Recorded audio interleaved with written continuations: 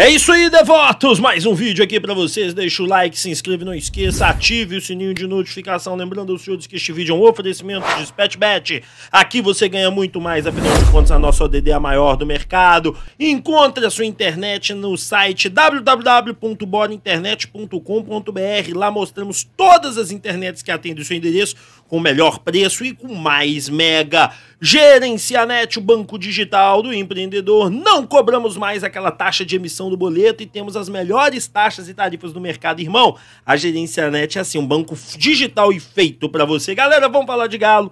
Tá na capa, tá na tela. Problema gravíssimo, entenda aqui. Senhoras e senhores, os jogadores do Galo, bem como muitos torcedores, né, inclusive é, creio que parte da imprensa mineira acho que não está enxergando a gravidade da situação que o Atlético se encontra na tabela hoje. Então eu vou simular aqui para vocês, conforme eu tinha prometido e muitos me pediram, e vamos entender o que está acontecendo. Hoje, o Galo está aqui, ó, em sétimo lugar com 48 pontos. Todos nós sabemos que até o oitavo, que hoje é o São Paulo, vai a Libertadores, beleza? Beleza. Bom, vamos colocar sempre 1 a 0 tá? Tipo, o resultado, vitória, empate 1 a 1 para a gente poder alencar o que está acontecendo aqui. Bom, vamos lá. Fortaleza outro jogo Curitiba. Gente, muito provavelmente Fortaleza décimo, Curitiba décimo quinto. Fortaleza vence essa partida, né? Deixa eu só mudar aqui, peraí. Beleza. Muito provavelmente vence essa partida. Então, nós vamos ter a vitória do Fortaleza aí. O Botafogo, gente, é uma equipe que oscila bastante, né? Tá aqui em décimo primeiro e o Bragantino aqui duas equipes que fatalmente vão disputar aí a questão da Sul-Americana mesmo. Aqui eu não vou mentir para você, não. Considero que o um empate é o que vai acontecer. Aí você vai jogar Corinthians e Fluminense. Gente, Corinthians perdeu aí a Copa do Brasil, precisa de qualquer maneira ir bem no Campeonato Brasileiro para pontuar melhor. E você pega um Fluminense que joga para cima. O, Curiti, o Corinthians, cara. Eu, para mim, o Corinthians leva essa. Vamos lá. Internacional e Ceará. Jogo que, na minha opinião, o Inter vence, Ceará tá lá embaixo, o Internacional vai vencer. Goiás e América, aqui pode tudo acontecer.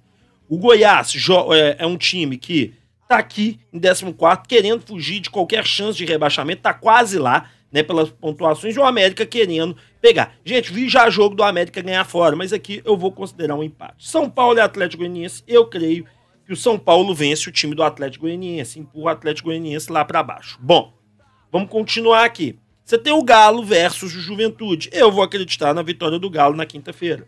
E aqui, Cuiabá, tá certo? Que tá aqui embaixo querendo sair contra o Havaí, que tá lá embaixo também. O Havaí é o pato junto com o Juventude do campeonato. Eu vou acreditar numa vitória do Cuiabá aqui. Bom, passamos a 34 entramos. Aqui em diante, nós temos a 35 36 37 e 38 rodada. América versus Internacional. O América, o Internacional querendo garantir a vice-liderança do campeonato, né? E o, o Internacional e o América querendo pegar uma Libertadores. Cara, eu vou por um empate. Flamengo já vai ter acabado de ser campeão, na minha opinião, da Libertadores. Eu acho que isso vai ditar muito o campeonato do Flamengo. Se ele perde para o Atlético Paranaense, a final da Libertadores, é uma história, mas não acho que vai perder. Então, Flamengo aqui, nesse caso, vai vencer o Corinthians, vai perder para o Corinthians, né? Porque afinal de contas, deixa eu pôr o zero aqui. Afinal de contas, vai ter acabado de ser campeão, o Corinthians vai vir aqui e vai vencer. Né, eu acho que os amigos do Cebolinha não vão segurar a onda do Corinthians, não. Então o Corinthians chegaria aos 63 pontos. São Paulo e Galo. Senhoras e senhores, esse jogo é o chave do campeonato, na minha opinião. Porque eu acredito que o Atlético vai vencer seus jogos fora. Se o Atlético aqui arranca um empate, e eu vou colocar um, uma, uma, uma, derrota aqui para vocês poderem ver como é que a situação é grave, mas se o Atlético arranca um empate nesse jogo, ele tá garantido. Mas vamos pôr uma derrota aqui, tá? Vamos pôr uma derrota só pra gente fazer conta. Palmeiras. Gente, esse é o jogo do título do Palmeiras. Se o Palmeiras é campeão aqui, ele é campeão brasileiro. Então ele vai vencer o Fortaleza com toda certeza. Botafogo vence o Cuiabá né, nesse jogo.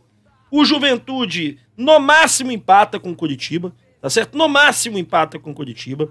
O Ceará, na minha opinião, precisa da vitória. Vai vir para cima do Fluminense. E aí ele vai tomar. Ele perde pro Fluminense. O Atlético Goianiense vence o, o, o, o, o Santos, tá certo? O Atlético Goianiense é aquelas respiradas finais, né? O Havaí empata com o Curitiba e aqui o Atlético Paranaense vence o Goiás, pois já precisa garantir sua vaguinha na Libertadores. Os jogos do Atlético Paranaense e do São Paulo, gente, são teoricamente melhores em casa. Aí o Galo vem para pegar o Botafogo, vitória do Galão.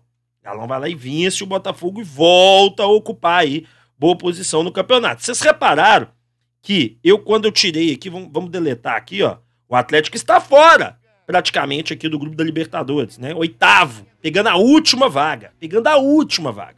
Aí o Galo vai lá e vence o Botafogo, tá certo? E volta a retomar o sétimo lugar. O Fluminense precisa vencer o São Paulo em casa, o Fluminense precisa garantir a vaga direta da Libertadores, aquela tranquilidade. Na minha opinião, vence o São Paulo aqui em, em casa. Bragantino e América. Cara, o Bragantino já é um time que não vai querer muita coisa com o campeonato. O América vai engrossar e esse jogo vai ser empatado. Corinthians e Ceará. Ceará precisa da vitória, Corinthians também quer para pontuar melhor. Na minha opinião, jogo pro Corinthians. Santos e Havaí. O Santos vence o Havaí. Internacional Atlético Paranaense. Aqui o Cap perde, na minha opinião.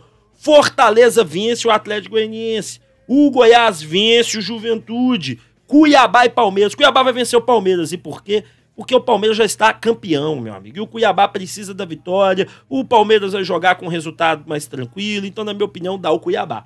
E aqui, Corinthians vs Flamengo. O Flamengo já é campeão da Libertadores, já é campeão da Copa do Brasil. Já vai entrar naquele estágio de jogar mais meio lento e tal. Para mim, vai perder pro Curitiba. Bom, entramos na 37 rodada. Você já tem times rebaixados, né? Como Havaí, como Juventude, você tem ainda uma pequena chance aqui, porque o Ceará com 34, 35, 36, 37, 89, 40, ainda pode colocar o Curitiba no rebaixamento. Uma disputa praticamente entre esses seis para o rebaixamento, e aqui a disputa para Libertadores, como você tem aí mais três pontos, ela vem até o Fortaleza. Bom, vamos lá.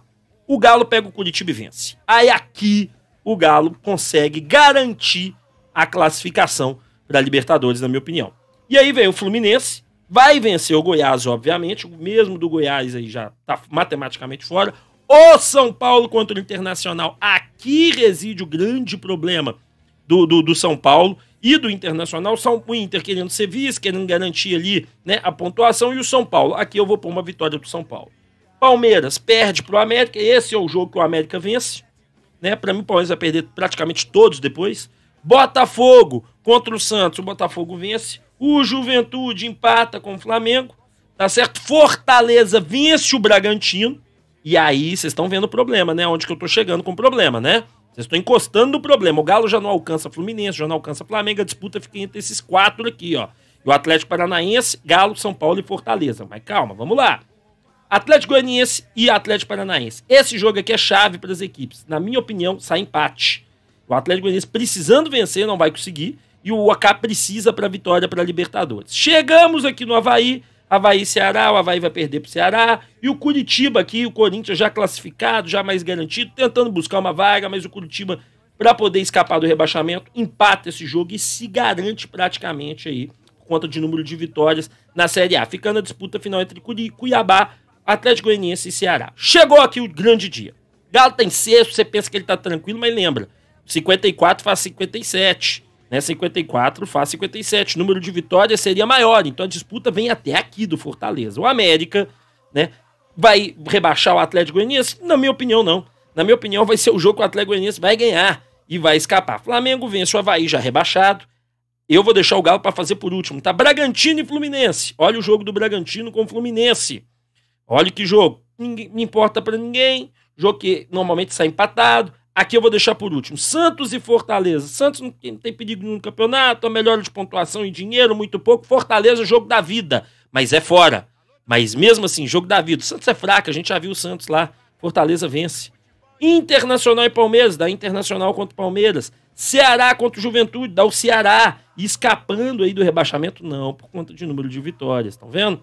E aí, meu amigo, você tem o Goiás contra o São Paulo, que para mim vai dar o São Paulo vai dar o, o, São Paulo. Olha onde que o Atlético já foi parar, gente. Oitavo, oitavo. Olha o perigo que é isso.